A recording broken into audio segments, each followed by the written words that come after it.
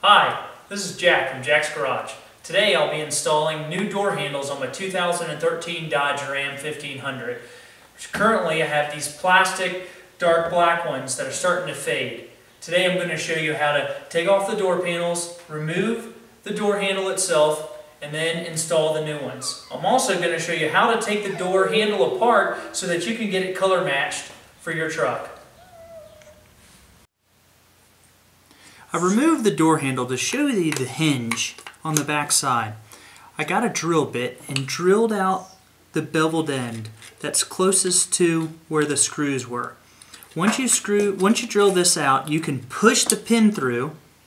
It looks like this. This piece will slide out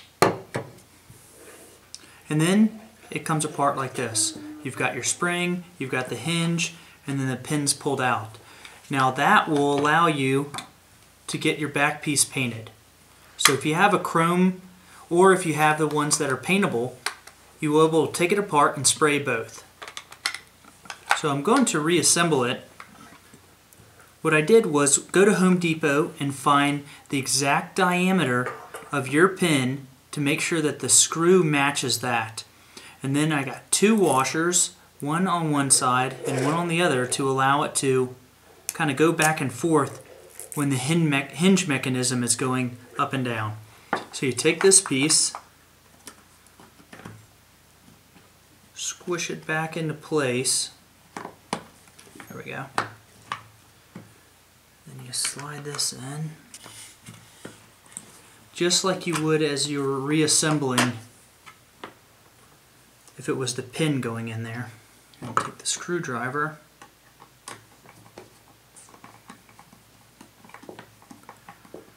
There we go.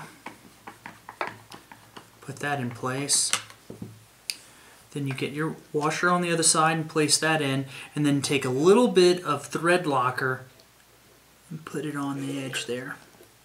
Then that will keep it from sliding back behind the door panel if it ever comes loose. That should keep it on there solid. I'll also use the nylon nut on the end so that would keep it holding for a long time. So the thread locker and the nylon should keep them together. So you screw these until it gets nice and plumb or nice and tight. And there you have it. So then we test out our hinge mechanism. Look like it's working great. It's not backing itself off of it. So there we have it. I'm going to put it back on the door. Now to take off the door panel.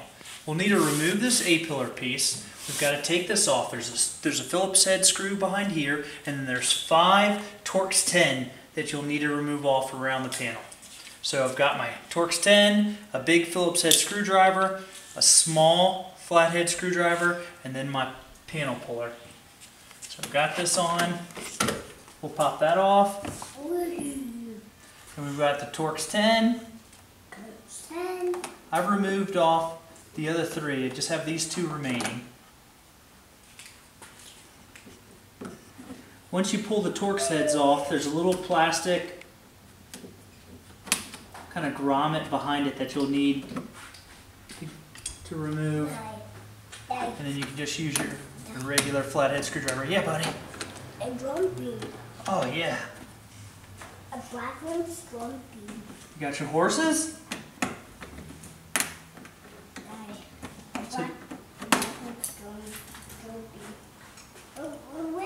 So we remove those pieces. Now you'll need to get the small flathead screwdriver to pop this little piece off here, which reveals a large Phillips head screwdriver head.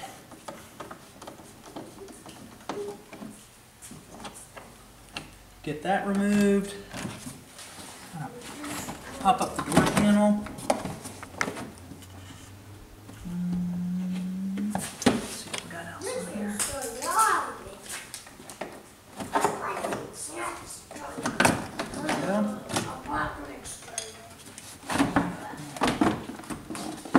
Once you remove that, there's one plug behind here for the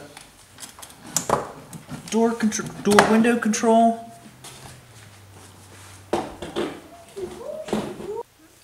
On the door, there's this little access panel that you can pull down and then be able to access the back side of this. So here's your connections where we'll have to hook or unscrew the bolts. I like to take these three bolts out to allow easier access so we can kind of pull it up and see. Oh man, you flipped me over. Pull it up, you can see it. Now I have small wrench with the number 8 millimeter that will get into there and then be able to loosen it up. So kind of peek in, feel around where that first first bolt is to loosen it up.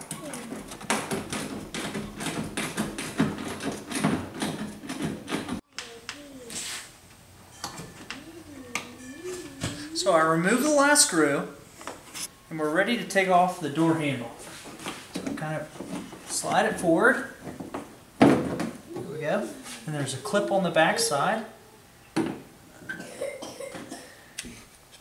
That's the clip. It just pops through the hole and you clip it on there. I'm going to take some spray, wipe it off clean.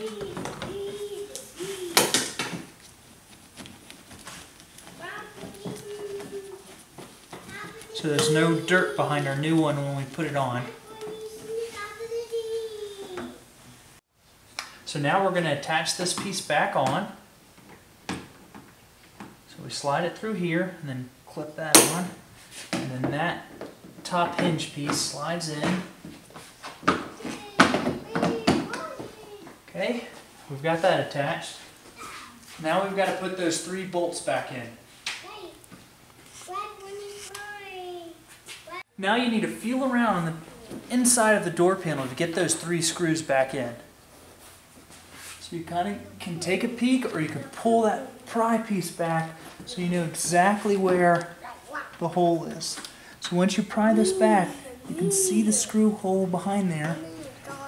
And you can do all three that same way. Peel this piece back and then pop them in place. To finish up this rear panel, you're going to pop the access hatch back in, clip the window controller back in, and then just pop it on. It's just reversing the exact same process to put it back on. The next step, I'm going to show you the front door, how to actually take out the lock mechanism and put it back together. So we'll just screw the screws in, pop this piece back in, and I'm finished. We've moved on to the front door.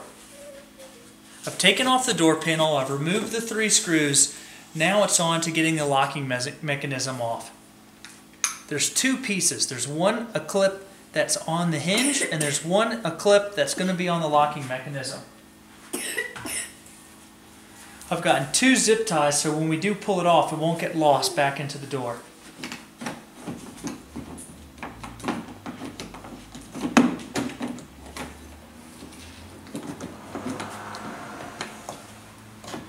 So with a little finagling, you can see the clip. So we've got to get that to pop out. Okay. Let's see. So with a little work, I've got it removed. So there's two clips, like I'd said. There's one in here, which will pop up.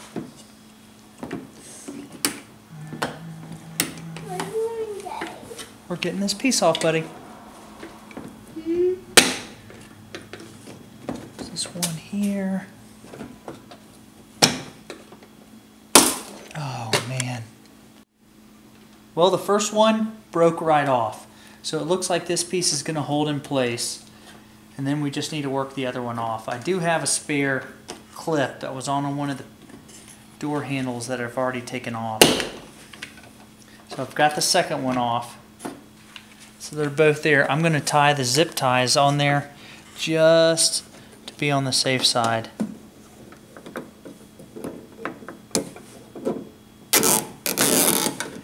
so they shouldn't go anywhere.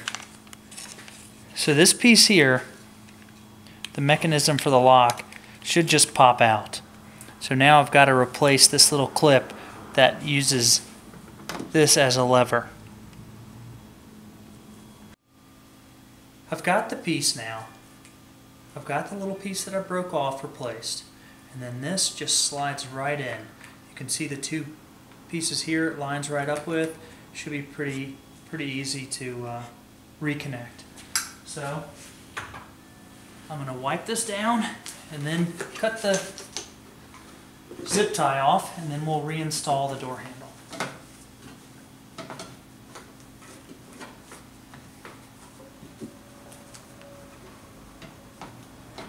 So we've got it cleaned up. It's just like when we took it off. Pop it on the exact same way. Clip my zip tie off. This little one seemed to be kind of stationary. So that should be easy. I'm gonna pop it in the hole. Put the piece and clip it in. So that's in place. And then our next one that attaches to the hinge kind of mechanism, this one will slide back and do the same thing. So I'm going to pop that in place. Clip it in. See if I can push that in. There we go. So this one will kind of slide back in like when we took it off. All right, there we go.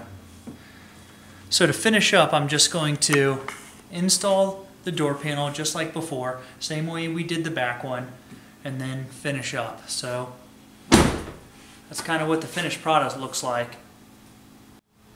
Thanks again for watching, and tune in next time when I install the overhead console with the HomeLink feature.